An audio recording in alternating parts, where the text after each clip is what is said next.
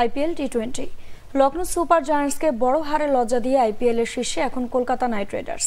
রবিবার কলকাতা ছয় উইকেটে করা দুশো পঁয়ত্রিশ রানের জবাবে একশো সাঁত্রিশে অল আউট হয় লখনৌ কলকাতার জয় আটানব্বই রানে অলরাউন্ড নৈপুণ্যে ম্যাচ সেরা সুনীল নারিন। গত বছর চেন্নাই মুম্বাই ইন্ডিয়ান্সের কাছে একাশি রানে হেরেছিল লখনৌ এতদিন এটাই ছিল আইপিএলে তাদের সবচেয়ে বড় হার। এবার ব্যাটারদের ব্যর্থতায় সেটা ছাপিয়ে গেল দলটি। ফিল সল্ট ও নারিন কলকাতাকে দারুণ শুরু এনে দেন। একষট্টি রানে জুটি গড়ে নাভিন উল হকের শিকার হন সল্ট, চোদ্দ বলে করেন বত্রিশ রান।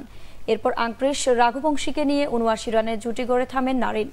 উনচল্লিশ বলে ছয় চার ও সাত ছয় একাশি করেন উইন্ডিজ তারকা।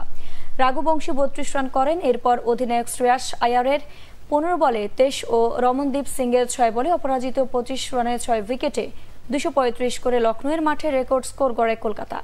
নাভিন উনপঞ্চাশ রানে তিন উইকেট নেন, লক্ষ্যে নেমে দ্বিতীয় ওভারে আরশেন কুলকার্নিকে হারায় লখনৌ এরপর মার্কার্স স্টয়নিস ও অধিনায়ক লোকেশ রাহুলের জুটি পঞ্চাশ রানে ভাঙলে ষোলো ওভার, এক বলে একশো সাঁত্রিশে অল আউট হয় লখনৌ স্টয়নিস একুশ বলে ছত্রিশ, রাহুল সমান বলে পঁচিশ করেন। হার্ষিত রানা ও বরুণ চক্রবর্তী তিনটি করে, রাসেল দুটি এবং মিচেল স্টার্ক ও নারিন একটি করে উইকেট নেন। এগারো খেলায় রাজস্থান রয়্যালসের সমান ষোলো পয়েন্ট নিয়ে নেট রান রেটের শীর্ষে কলকাতা।